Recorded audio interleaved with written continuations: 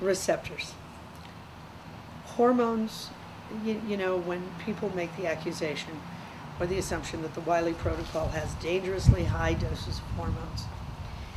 The part that they're missing is it's not how much you take, it's how much you receive. And to receive a hormone, you need a hormone receptor at the cell surface. There are second messenger pathways, which means, like pinball, that hormone molecule will hit a different receptor and a different thing will happen that will cause the same effect, or 76 million more effects.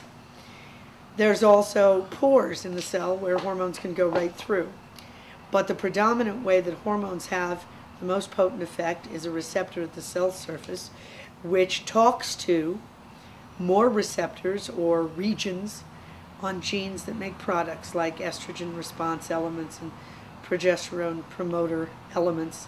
And then the hormone at the surface of the cell tells those genes to make a product, and another receptor will pop up on some other place in the cell. So, for example, a peak of estrogen on day 12 makes the receptor happen, provokes the receptor for progesterone for the next part of the cycle. So, taking progesterone without a peak of estrogen is not using it as progesterone, it goes down a cortisol pathway and you use it as cortisol.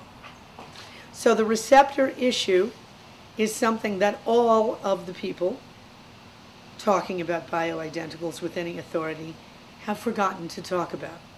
It's not about how much you take, it's about how much you receive. And when. Timing is everything.